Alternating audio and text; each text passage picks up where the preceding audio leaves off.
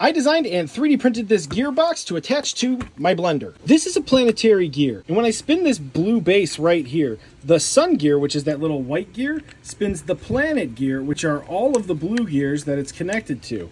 For every one full rotation of the sun gear, the planetary gears and their bracket make a fraction of that rotation.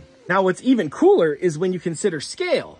Now it's going to take even more rotations from the sun gear to get this planetary gear to go all the way around. Not to mention, this looks really cool. You can see the bottom planetary gear going much faster than the one on top, and it's oddly satisfying to just sit there and stare at. Look at that. So then when we attach it to this blender, we go from this to this. Forgot the flag.